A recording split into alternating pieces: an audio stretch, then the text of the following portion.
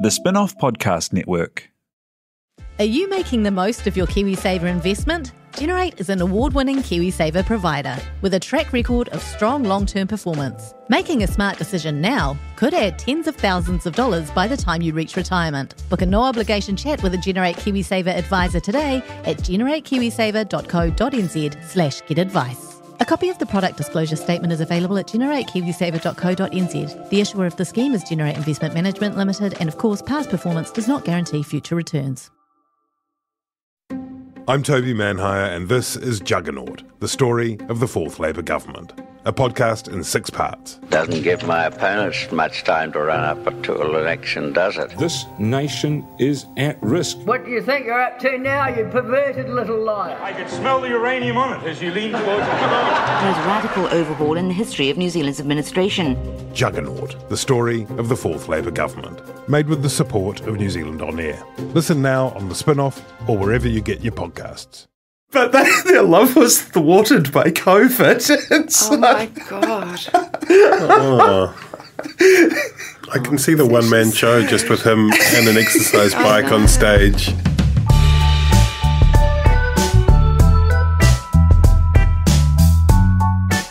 Tēnā koutou katoa. My name is Toby Manhire. It's July 2021 and this has gone by lunchtime. Annabelle Lee Mather is away, sunning herself, gallivanting who knows what. And in her place today, Ben Thomas. Welcome, Ben. Kia ora.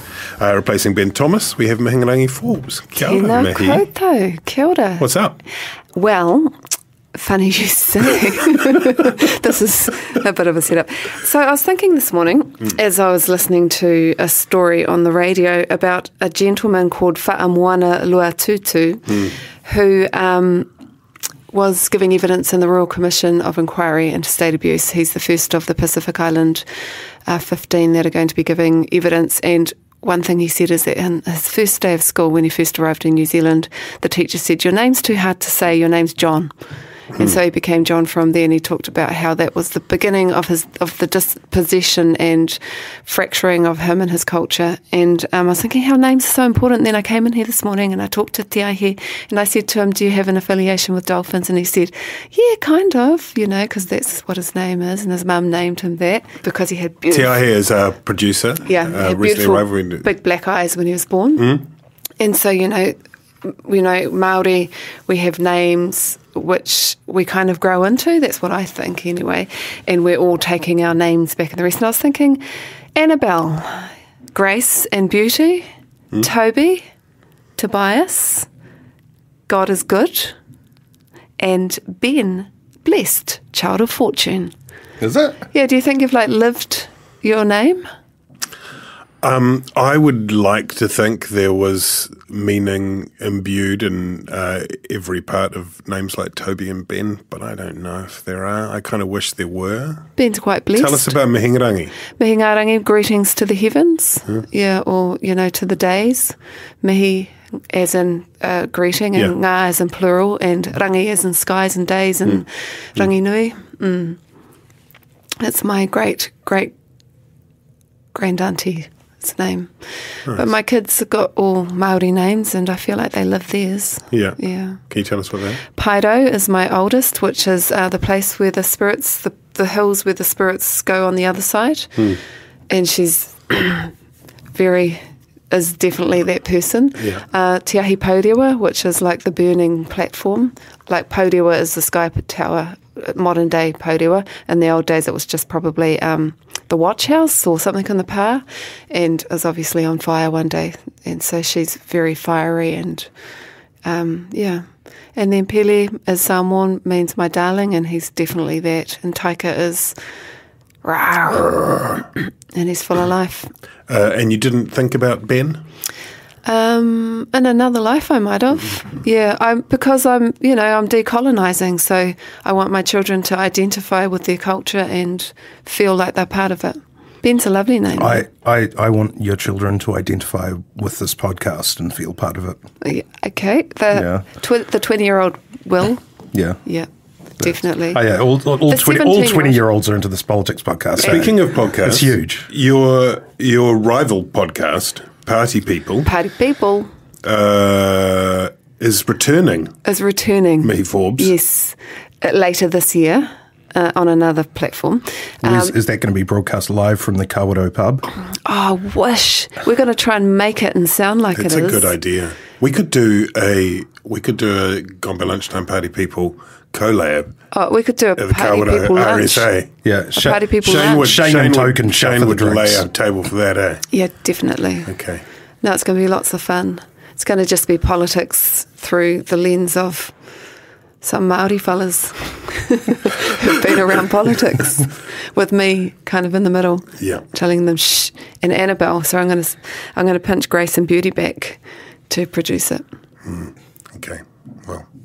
Well, that's good. Well done, Annabelle. The Should we just call her Grace and Beauty? Grace and Beauty. Yeah. GMB. GB. G. Grace Beauty. Grace and Be- Beauty Lee Laughter. Mather. Laughter. Lols. GBL. Well, she's lols because she's Lady of Leisure Yes. today in Rarotonga. Mm. Yeah. Kia ora. Probably Bells. cracked her third champagne by now at the Koru Club. the pineapple daiquiris. She's got it attached to a bag. She'd have the Koru Club basically to herself, wouldn't she? Or just, just the other Just her and her husband. travellers. Yeah. Oh, the other, yeah, there'd be a few of them though, wouldn't they? Oh yeah, I think the flights will be packed. But she'll be able to get she'll be able to get a uh, a phone charger. She'd definitely get one of the comfy little cubicles with a phone charger, a cocktail, and she'd have her. Um, there'd be lots of scrambled eggs there. It's quite good. One thing that COVID nineteen has managed to do is make the Koru Club exclusive again, at least the international lounge. It was losing a lot of its cash. I haven't been a lot into of it. When did you go in the international lounge? Uh, well, last time I've been, I was in it was when I was visiting my folks in Sydney pre-COVID.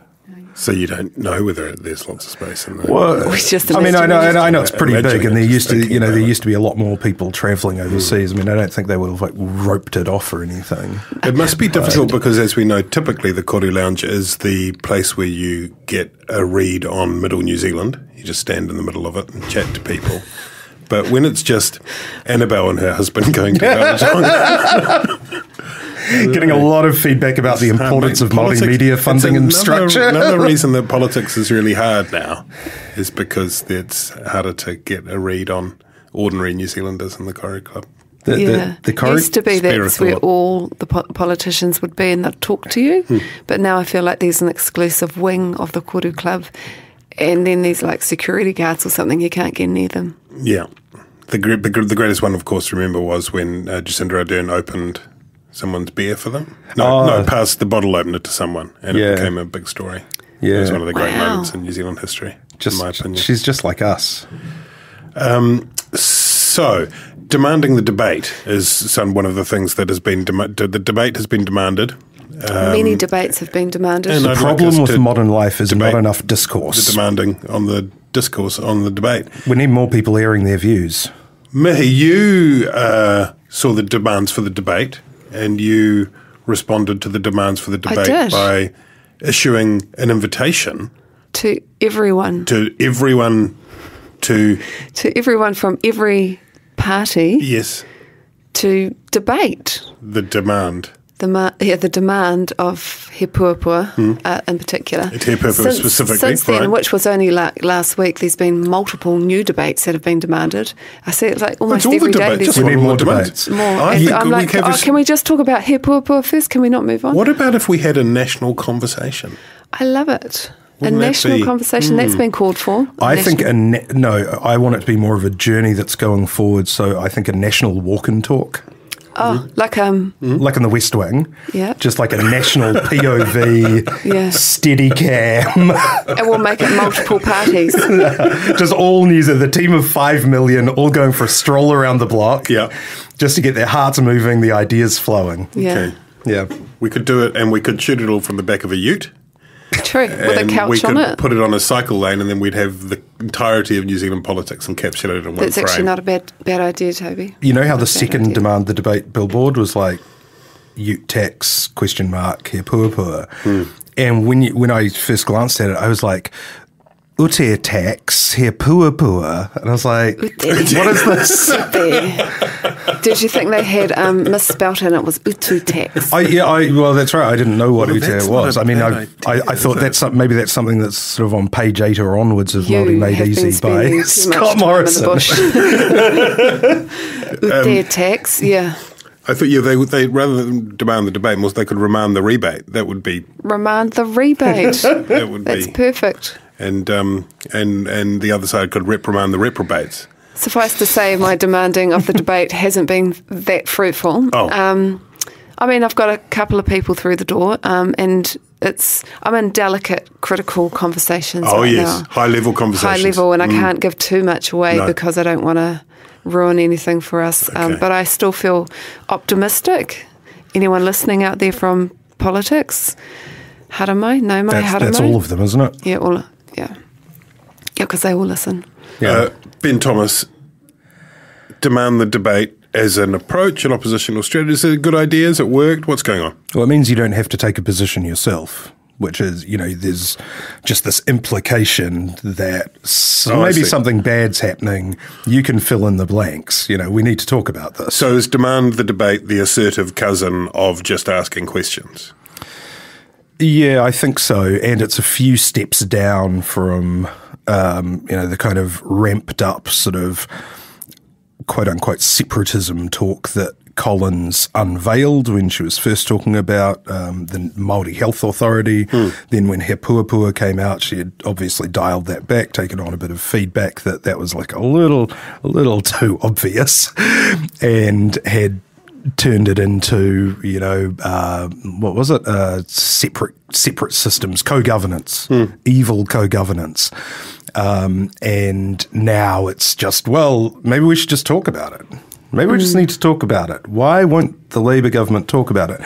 And in a way um, you know she's got a point with some of it. With He Puapua you know the Prime Minister has said we didn't release it because we thought people might um, attack us on it you know, she's been pretty clear with that. Um, and, you know, He Puapua itself was definitely kind of slipped through, you know, or, or the attempt was to slip it through. And now it's mercifully turned into just a national debate where everyone will sort of have their say at a few hui and meetings and they'll draw up some A4s and some long lists of ideas and sticky note walls that everyone will take photos of with their mobile phones and turn into PowerPoints and nothing will really happen. Um, but there will be a discussion document. Um, so I think you know, th- this isn't a particularly fruitful road for National to go down. But now that they're adding in extra issues, um, you know, I mean, the, the mob, the mob funding is is the most obvious one. That's a real sort of pressure point. Um, But you know- that's not a he pua no, no, absolutely. I, I think I think- think He Puapua is a dead end for them. I think, and and I, I think- think I think it makes sense that they're moving on from that. if they had have um, actually just talked to it, there were there's a number of uh, uh, examples they could have used as successful He Puapua uh, frameworks and uh, concepts. Like the Māori Health Authority is basically that concept of working in treaty partnership. Um, and you know what what's coming with Oranga Tamariki might be similar as well. But um, I wanted to say about the debate. I remember a time when, as journalists, we were able to actually have debates on television, on radio, and I think it was actually the national government that canned that. Do you remember? When Yeah, they said with- we will no longer put We will ne- ministers up yeah, against we're their not going up shadow against that person. spokespeople. And, And that, so that, that was a that, really used to- deliberate It's policy. a great point. Pr- right was, was, that, to- was that under the national government? Yes, it was because yeah. prior to that, you'd, you'd was it have the Clark like government? I'm not sure. Sainsbury and those guys, Yeah. and John Campbell would Yeah. have like one of each, Yeah. and they'd just be half an hour of just going each other. Here or- are the two people who wish Yeah. to be responsible for, For this portfolio. or- that's right. Let's hear them. yeah, or big stuff, and, And talk about policy rather than just right. Leadership stuff. I and mean, that absolutely. got canned, and they wouldn't. Let's demand that debate. Th- then they demanded that they would have like an interview, and then that would finish, and the next person could talk. And so, and then, but this Labor government has carried that on, and in fact, they're equally as poor at turning up. Great point. We uh, hashtag demand the debates. That's what we're doing. We're demanding the debates. Well, sh- what could be bring back the debate? Bring back the debate. Bring back the br- br- uh, Like back in the not- day it's debate. Not very alliterative, is it? But see, the problem is people are out of practice at it. so Bring I- back back? Bring back the Barneys. I remember the first time that we actually did, you know, our, our ministers did engage in a debate, and it was was it the 2011 election? And I it was it 20, yeah, it was 2011, I think, or maybe 2014. Uh, no, it must have been 2014 because it was Joyce versus Robertson as finance minister. Uh, finance minister and finance spokesperson, or finance spokespeople Mm. for the two parties who were in the election. Because it was an election campaign. Yeah, and it was the the mood um, after it. It just turned into this absolute shit pile where both of them ended up just sort of slinging insults and talking over each other. Who facilitated? Uh, it was the nation, I think, but it, it was it was, or maybe it was Q and A. I can't remember, but it was just so terrible. Uh, You know, I think we got official word that you know, look. W- We've got a couple of couple more of these that people have already signed up to, but no more. like, Uh, I disagree. I think that if you've got a good facilitator, you can make it work. And I think that as you know, I think New Zealanders have a right to hear um, that kind of policy debate. Yeah, and they have, I mean, you know, every election they have, for example, the would be finance ministers debating in Queenstown together. Yeah. That's always a lively and interesting and often illuminating affair. I think that there are, when you talk about issues like, uh, whether it's whether it's He Puapua or oranga tamariki or health or education, to get the the complaint we have a lot here a lot is that there isn't enough discussion about policy. It's all just about personality and it's all That's right. about flashpoints and gotcha politics and blah blah blah. And then we don't get a lot of illumination or light very often in question time either. We get a lot of obfuscation and avoidance and attempts to score hits. I think I think that's a great idea. We're demanding the debates. Um, me, how's your how's your diary looking? You're available to host all of these debates. Happy to. Great. Happy to. Um, I mean, we smashed out all of those election um, electorate debates. Yes. If people turn up, it's not that hard. I think that that's part of the other issue, isn't it? That National seem to have been ca- well, actually not National. Judith Collins seems to have been carrying on this. Well, just asking questions, guilt by association, implication, strategy through to question time. She used to be a really ruthless kind of forensic questioner. She did. Um, One of the best portfolio uh, opposition politicians and very good as ministerially, right? Yeah, yeah. Um, but w- against Ardern, she goes with these very airy, big picture things, and this is whether she's talking about hate speech. I saw um, a clip about. Uh, the you know the the state funding of media, which is basically just you know a bit of a handout, mainly for Oh, yeah. visual That was a. Facebook one, I think. Yeah, and and Collins was just asking these sort of very high level, easily rebutted questions about, you know, does this mean media are biased towards Yeah. the government? Uh, I mean, that's She not going to get you anywhere. that media were take, bite, uh, drinking the Kool Aid. Yeah, then then Seymour swooped in and said, "Well, one of the criteria is that it, it you know, that it, it uh, demonstrates the, the principles of the Treaty of Waitangi. What if somebody want? What if a media organisation uh, runs a, an investigation into whether those principles are any good? You know, does that mean that they don't get funding?" And you know that's actually a much more reasonable. That's actually a much more incisive question to ask because you're getting into the detail and the policy and what it actually means for media, um, rather than just these sort of, you know, ba- basically suspicious kind of um, whims or something. And you know, you, you notice that a lot. I think you know, Act Bridges has actually been pretty good. I think you know, say on the hate speech stuff, um, but you know, the leadership of National really seems to have adopted this.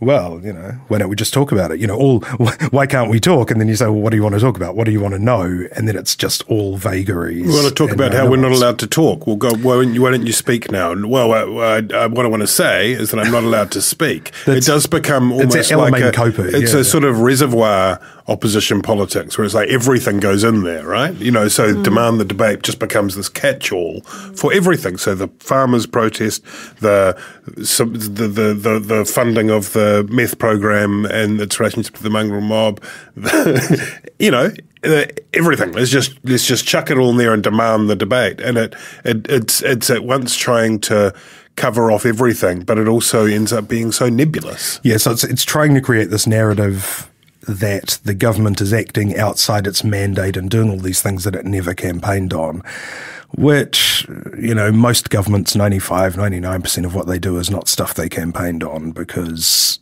most of what government does is really boring and doesn't attract a lot of attention.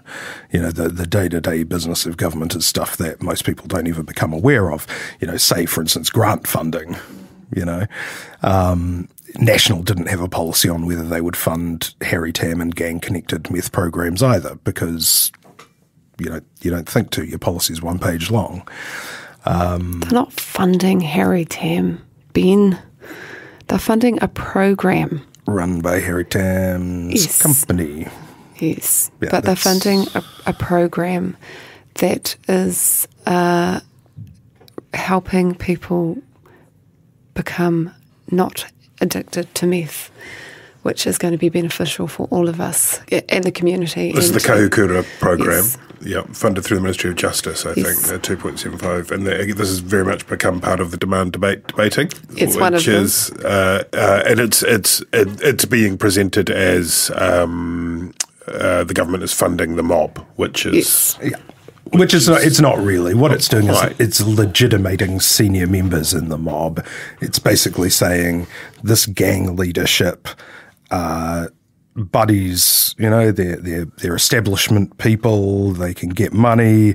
The mongrel mob are actually out there to help you get off meth, which is not really true if you look at the national picture. um, um, and, and, but you know, if you apply that that to say the Salvation Army or a church that's you know has actually been part of the Royal Commission on into State Abuse and acknowledged that they've got had some terrible, terrible abuse in their ranks, you can't then just say, oh, the whole of every single church organisation can't be funded. And we give lots of money to those organisations for them to help to do social justice work in our communities. So you can't apply that to every single group that's trying to, you know, uh, uplift their people. Yes, we know that gangs are terrible most of the time. Um, but there are individuals inside of those gangs who are now in positions where they want to help and who aren't peddling um, drugs and the rest of it. And um, they are the best people to try and to try and encourage people to get off meth and things like that. Yeah, but I think, I think you have to be careful about that. Yeah, I think I think the idea that um, you know the the the superficial kind of public perception is gangs are bad, drug dealing. Then you've they got are the, bad. The, yeah, then you've then you've got the second layer down, which is the kind of um, Pointchev sued sort of gangs are just alternative whānau institutions. They're basically like whānau ora providers. We need to empower them to help the most vulnerable in the community. And then you get back to, then you drill down into the reality, which is, is like, actually, you know, actually pretty bad. And, the the idea the thing is I think there's a difference because you know there's all there's so many programs around the country right and uh, most of them involve gang members right because that's that's a core not enough programs that's a core part of it right? And you, you yeah you're right. You won't get anywhere without former addicts. You won't get anywhere without people who understand the lifestyle.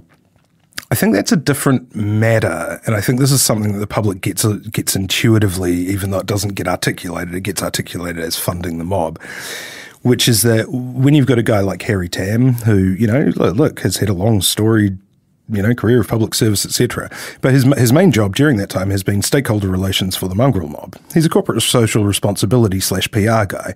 His job is to make you think that the mongrel mob are respon- are a responsible social organization in the same way that the sustainability manager of Sky City tells you like look at look at all the good we did we had a fun run and raised some money and just forget about all of the people like feeding their paychecks into the slot machines and pissing into cups and you know, so so the idea of legitimating those senior figures, who actually, you know, the most the, the most important thing they could do is actually try and pull the levers in the organisation and use their influence to get people stop dealing meth to their whānau, right?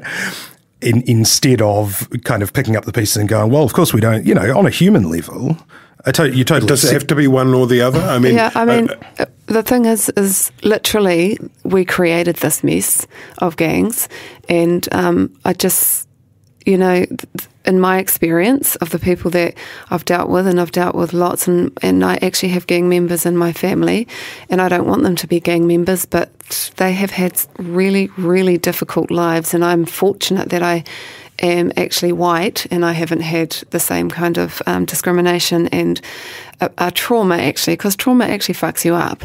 And so anyone who has experienced trauma, whether you're brown, white, or whatever, it just happens to be probably more Maori and Pacifica people uh, uh, have had this kind of state abuse trauma.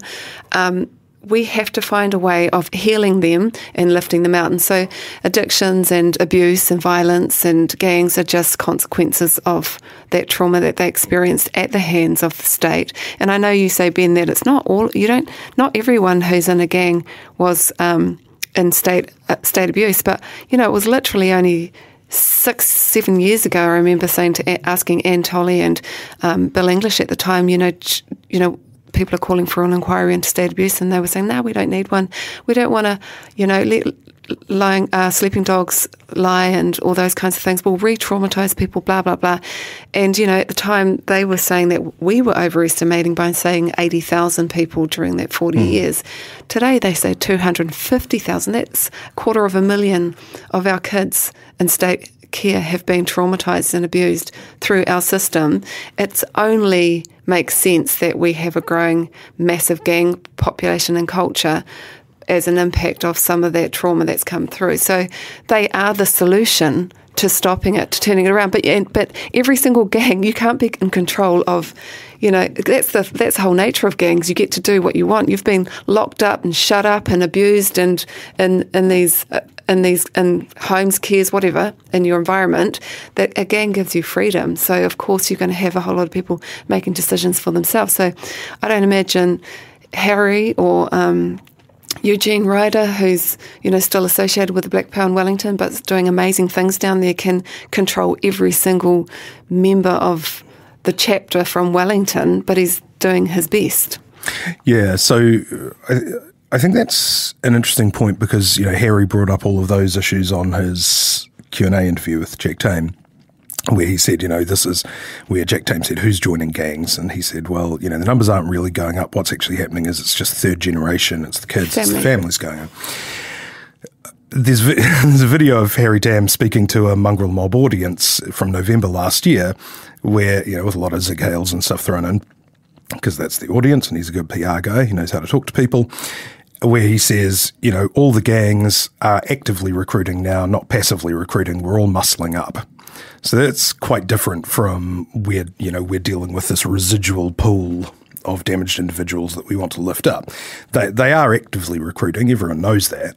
And so I think the idea of legitimating them as a, a partner with government, as people who, you know, are respected by the Prime Minister, by, you know, uh, is is probably a mistake in terms of branding if you actually want to keep people out of that lifestyle. And you saw the contradictions with that, you know, in Poto Williams's interview with Tame, where at the on the one hand she's trying to say, you know, she wouldn't even speak Harry's name. She was like that person, you know, and and then she was saying, "Oh yeah, but I mean, good program, two point seven. But that's that's about the that's about the raw politics of it, isn't it? Thank you both. That's a really really interesting corridor. Um, this has gone by lunchtime, and um, if you want to hear more fascinating, interesting conversation like that, you can help keep the spin-off alive by going to the spinoff.co.nz and joining our membership.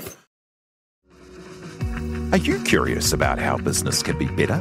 I'm Simon Pound, and I host Business is Boring, a podcast where I kōrero with some of the most interesting people in entrepreneurship, commerce, and making things happen. Tune in to Business is Boring every Tuesday, brought to you by the Spinoff Podcast Network in partnership with Spark Business Lab. Kia ora, I'm Alex Casey, senior writer at The Spinoff. We wouldn't exist without the ongoing support of our generous members. If you're able to, you can make a donation at thespinoff.co.nz slash donate. We need to talk about the groundswell, the howl of a groundswell, howl of a protest, farmers, utes going down the highways of the nation to the cities, across a range of cities. It was a. I think it was still going when I came here. Came here this morning through Morningside. Yeah, Mm. lots. Lots of There, tractors. there, there, Lots there were three, double cab three- utes. three- three Yeah. SUVs and utes at the intersection to Was you know there, try and get across uh, the road. Was Three there, utes. was there any mud on the utes? None. No mud on the No, they were pretty shiny. They were in their best paint job for the protest. Um, there are actual real tractors rather than Ponsonby tractors in, in, in, in Auckland on Friday. And Big various John other Deere places. ones. Um, Big and there were also a lot of interesting signs. I it, mean, there looked was- pre- it looked pretty Right. cool with um, the tractors. There was, thought. there was, we don't, we, I mean, it's, it's very easy to misrepresent a protest on the basis of uh, fringe elements, we could say. But there were quite a few interesting signs there in term when we talk about, you know, uh, demands for debates and different No catch-alls. idea how ute tax has anything to the do with ramming te reo Māori down your throat. Yeah. Yeah, I didn't Yeah. get that one. It's, but it was a theme. Where is the te reo being rammed? I mean, it's being rammed down the throats, but in what location It's is the that ute. happening? It's the Because- ute. Yeah, that- yeah, that's right. the ute is getting it. Um, is it the what is it? The daily COVID briefings? Is it because Ashley Bloomfield says, Says motu? motu. I think Yeah. it's probably It is all that. of TV. It is that. It's the TV3, the TVNZ. It's everyone saying the kia ora. Nau mai, haere mai. As you said, tēnā koutou this morning. You know, we're starting to embrace and love our other language. Shocking. Um, the other one I'm most interested in, though, is the the. Um, did you see this one? Fish plus chips plus communism equals your worst nightmare. This was a sign I love fish and chips. that was, and I just I don't can't work really. that one out. I'm trying to get my head around because it's it's My- a very interesting equation. Are they talking about on a normative level, like everybody has fish and chips? There's surplus production and workers' committees.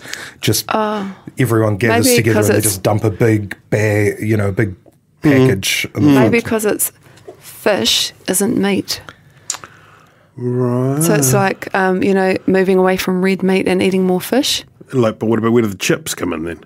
because potatoes. potatoes. You Yeah. can't eat plants. Yeah. You can't eat plants. So Can't eat about- plants. Maybe it's pescatarian protest. I think it might be a reference to Jacinda Ardern having previously. I think this is somewhere in the Morrinsville region. Yeah, it's a- it's a reference to the it- Prime Minister's Prime Minister teenage worked in a- yeah. But but I just, I mean, if you were, let's just say, for argument's sake, I know that you're um, uh, in favour of Marxism Leninism, Ben, but if you were against communism. Wouldn't adding the fish and chips make it less bad rather than more bad? Like, if your worst nightmare is communism plus fish plus chips, Maybe they're saying that you would there would be long queues for fish and chips, and then if you had ordered two fish, you would just get One. one potato fritter, because every like in the or a- Soviet Yeah, Union. You, you don't get to choose. You don't get the cho- choice of the family pack and upgrade to the Right. snapper. You just get the same. so you just get the hookies Yeah. frozen. Yes. because um, because of the working situation. Grant, Grant Robertson would go like, "We've no the Productivity Commission." Ganesh and Anna would be like, and- "Everyone's having a sea dog Yeah. tonight." and sixteen chips. a crab stick, which contains no crab meat. Yeah. So it means, I don't want to dwell on this, but it's important. It means that fish and chips under a communist regime is your worst nightmare. Is that your interpretation? That person needs to come forward and ex- explain Well, you're himself. welcome to. They need we, to debate. We demand. They d- I'm demanding the debate it. on That's that. going to be episode three of the, de- the debates you episode demand. Bring along your. The- Quite a lot of the- organisational heft behind this. Fifty-five centres. That's a yeah. big Let's talk about it properly. We should do that. And it's and it's um, there were there there are a number of issues beyond the fish and chips, communism, and te reo. Few. Um, there's all the water policies. There's the Ute the, tax. the ute tax. There's the, the significant natural areas stuff is quite interesting Yes. because people feel um, 'Cause I didn't That's one the give Hone our land Harawira back. is The give extremely give our I, I saw the, the- the- irony of them, of farmers from the Waikato asking Yeah. for their land back. Yeah. And I was like, I actually asked that question because I was horrified by it. And then someone's like, ooh. SNA me, do some reading. And I was like, I'm deleting that text. I was just getting a torrent of Well, abuse from. And I was like, yeah, cool, thanks, I've got it now. Thanks, but stop with the coming at me. Um, but now I get it. It's the significant natural uh, areas, and so that's the bits of forest and regional ngāhere and wetlands Yeah. on their lands that they're not allowed to That's right. develop. Farmers saying but that why is would our they land, develop develop it when you just? I mean, have we the weekends weather? Hello. Well, this is actually something that um, Hone Harawira is really up in arms about as well, up north, and has been leading because um, they're worried about the, the effects on developing um, Te Ture Whenua land as well. Um, and uh, correct me if I'm wrong. I think the I think some parts of the country have successfully just put in place their significant natural areas ages ago, but some councils have been dragging their feet, and that's where the sort of controversy has come in because it, it Yeah, I think seems down like south I doing- remember a story of somebody who lost a portion of their land. Well, not lost; it's still there for them to enjoy, but they were unable to develop a. Yeah, don't but I know think the answer to that question, but there will be a taken care of. on There the will be a piece Island. about it on the spin-off explaining everything you need to know tomorrow morning because Thank you. It's um, yeah, it's an interesting area, and it was one of the things that was raised by a lot of people who were spoken to who didn't have signs about fish and chips or te reo. It was a the, the, the, a lot of people raised it in, as part of the protest. One of the sort of the um, more general complaints, I think, is that there's a lot of stuff you're doing to us at the moment. It's like too hard and too fast, right? Like it's it's it's um interesting given there have been a lot of complaints about the Labor government continuing the incrementalist path from various quarters. Is this suddenly uh, Ardern's Labor government is too transformative? Well, what, what this government's really good at doing is passing regulation. They're really good at stuff that involves having officials write something down and then signing it off by an executive council order or passing a law. They- They've been terrible at delivering things. So passing a law is literally the act of governing. something. Yeah, the, the, yeah, that's right. It's, it's it's it's performative in the true sense, in the sense that by do it by by performing it, you do it. But but what I mean is that you know where the argument has been about the transformation has been that uh, you know the, apart if you leave aside the welfare advisory group stuff. Um, most of the problem has actually been delivery. You know, it's been getting that $1.9 billion out the door and actually more beds for mental health and more counsellors and that kind of thing, and literally getting it out of the bank accounts. Yeah, or execution, you might say. Yeah, another way of execution, describing it. Yeah. implementation. We've got an implement- implementation unit though, so that's all, Yeah, that's all sorted. that's all sorted. Um, but in terms of you know what they have been good at is raising the minimum wage because that's literally the stroke of a pen, and and leaving things for other people to do. Right. So yeah, and and there has you know David Parker has certainly been one of the busier ministers in environment, and so he's you know. It's, it's quite hard to transform the environment after 150 years or so of degrading it to the point that it's can't even swim in your rivers anymore and the rest of it. I mean, transformation of our whenua and our waterways and our marine life and the rest of it. And we've got all the reports that show how poorly we've done over that time is it's not going to happen like overnight like Rachel says. Will it? The But I guess that's what legislation's for is to, to tweak it and to hmm. make things start to move in the in the right way. And look, you know what we saw over the weekend in Buller and Westport, especially. You know, some kind of terrifying. I mean, both both both in terms of the two challenges of climate change, in terms of adaptation and in terms of mitigation. The the reforms that are hmm. underway are trying to address both of those things to a, to, to to a great degree, and it's. There's no arguing that it's a real thing, right? No, no, abs- absolutely. But the, the challenge you get is actually getting people to make sacrifices that require them to either do work or pay money. Right. So we've had the ETS in place for about 10 years. It's only really had teeth for the last few couple of years. Um, it adds, say, 10 cents to your petrol mm. per litre, mm. right? But, but you don't see that on the receipt. You know, it's just sort of mm. absorbed into these big fluctuations that petrol prices have. The farmers get told you have to fence off that area, you have to plant these trees, you have to, you know. But don't they get funding to fence it off? I don't, Yeah. don't know. I'm pretty sure But, that. but it's still a thing they've got to do, right? It takes up mental space. It's like any regulatory change. You know, it actually does add to your workload. And Shouldn't you have been doing that already? don't know, I'm not a farmer. But when you've got cows that are like you know in in the in the waterways, you'd go shit. That's a problem because you know we now know that waterways can't have that much of that in there. And wouldn't you just fence it off when you got runoff going into streams and your streams turned kind of brown and got algae all through it? uh, What what kind of responsibility do you have as a landowner? Yeah, I mean, because I I, mean- walk around, I am like I'm. I'm a landowner. You know, I've got a house in Auckland, and when something like the tree is going to fall over and hit the neighbour's house, I take action. What's the mood in Feilding? Feilding. I didn't get down there for the protest, but I imagine it would have been huge because it's a town of two halves, Feilding, farming community, and then, you know, a lot of poverty and people who are labouring jobs and the rest of it, Hmm. split down the middle, really.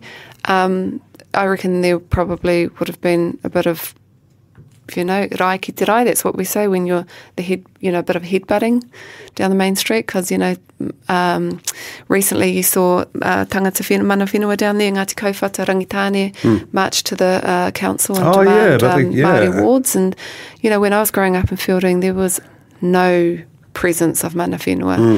We didn't even say we were Māori at school. In fact, I've been talking to lots of people I've been catching up with I went to school with and would say, I don't even know you were Māori.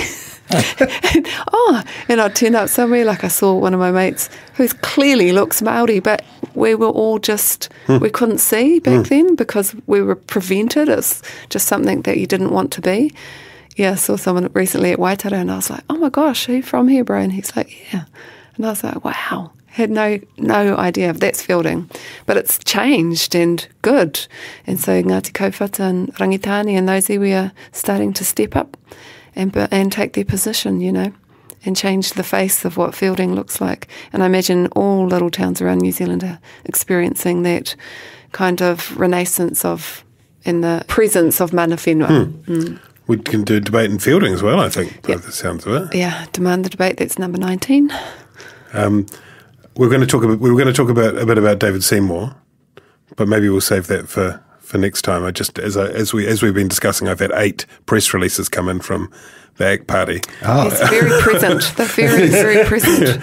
Yeah, um, and and the, there was a there was a poll recently in which um, David Seymour ranked. It was the UMR, wasn't it, that was leaked? in which, um, he 12%. was. Um, but um, do you want to have do you have any quick thoughts on, on whether David Seymour is now the true leader of the opposition party?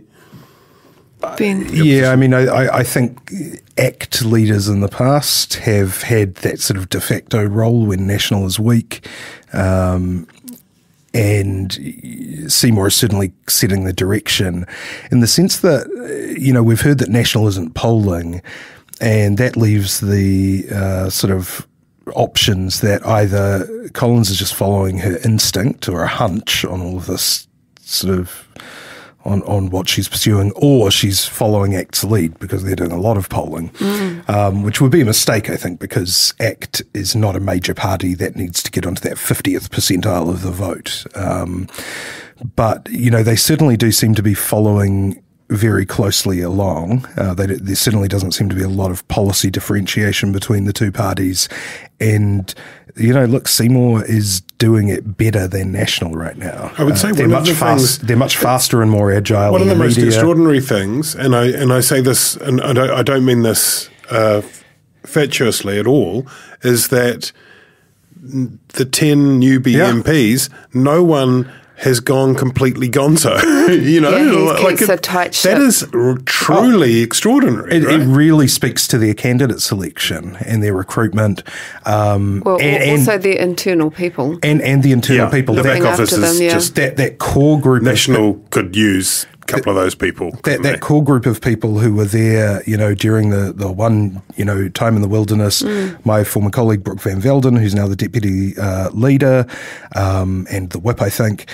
um, Andrew Ketels, who's the chief of staff, Seymour himself, mm. you know, the, and then some backroom guys who've been around for years and years. But in opposition, eh, this happens because remember when the Greens had big numbers in opposition next to Labour? Yeah. And um, so the, that main party kind of yeah. loses its way and yeah. it kind of rolls over. Yeah, there was a time where, where, where Russell Norman and Metiria Turei were, were kind of leading had taken that the debate. Um, uh, we got to go very quickly. Is also, we were going to mention briefly the Freedom Day. Oh yeah, in the UK, which has been declared. Boris Johnson, July the nineteenth. We won't pinned. really know for about fourteen days how it's going to turn out. but it is it is kind of horrifying in a way. Horrifying. I mean, I've talked. I talked to I talked to various friends in the UK who who uh, say that there's just they've got that like they have to open up. The, the and and you go, well, that seems crazy. Like mm. the the numbers don't back that up. They're, well, people would people would revolt, and that's not borne out, I don't think, by the polling particularly. But there is seems to be a kind of general mood there that well, we've tried everything. We're vaccinated quite high high level now, so let's go for it. But they then create this fucking petri dish for a more variants to emerge. Yeah, that's a, the kind of scariest crazy. thing is that, that, just allowing it to kind of and and the unknowns, the long COVID stuff. Yeah, you know, like pe- people who may not become massively symptomatic, may not end up in hospital. Hospital uh, hospitalizations down. People, people, when people say to me, "Oh, you know, we've got to learn to live with it," because people say that all the time. Someone said it to, it to me at the weekend, and I thought, you know, I actually know quite a few a couple of people who've had COVID and who are living with long COVID. Mm. And, you know, one in particular is a friend of mine's daughter who is constantly sick, mm. constantly sick. Mm. And um, that's the long COVID. So who knows what what's going to turn out for her? I mean, it does. You do wonder whether if this was well, should the UK be on New Zealand's high risk country list now? I mean, why is it not? Well, I, I, would have thought that it well, I mean, we don't we don't have a because we don't want the new. We only have high risk countries. No, right no, now, we don't. You remember you know, when we, we remember when we oh, shut off internal travel from India, right? Yeah, and then it was yeah. reopened on the basis that there was a new category, which yeah. was an update on the previous one, which meant that different criteria had yeah, to be sure uh, had to be met in order to travel from those those those. Yeah. Does places. the next ten years look like um, that we travel with? With not high risk countries, and then we just do hard borders to, you know, the high risk countries because, you know, you can vaccinate your whole population, and then a new variant can absolutely screw that. Yeah, I mean, we we have to open up at some point. I think one thing that maybe we don't appreciate here is just how crazy everyone in the UK has been going over the past year and a half. You know, I mean, we you see in Australia, you know, a lot of people in Sydney are finding it really hard to deal with their first proper lockdown, and it's been what a couple of weeks or something. Um, you know, the, we have people, you know, people in the UK. A lot of them haven't, you know, really seen anyone socialised, no. gone out yeah. in in the sense. And remember, a lot of them, you know, if you're in London, you're living in a cramped little apartment. You know, you're not you're not in the backyard or whatever.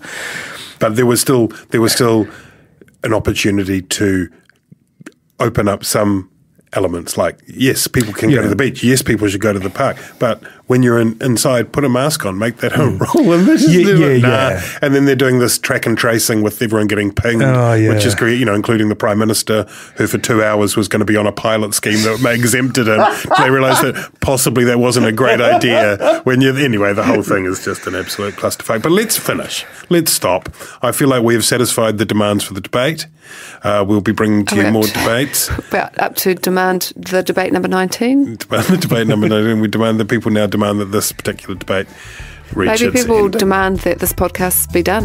Be finished. Yeah, for the day. Kia ora. Kia ora.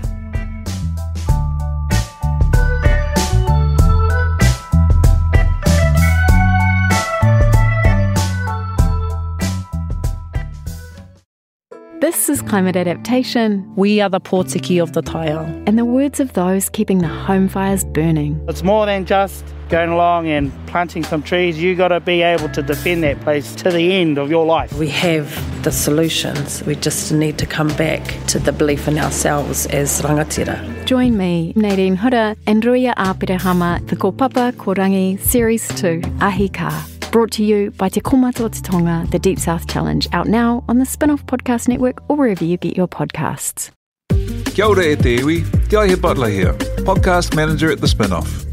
If you enjoy listening to our podcasts, consider supporting our mahi by signing up to become a Spinoff member at thespinoff.co.nz slash donate. The Spinoff Podcast Network.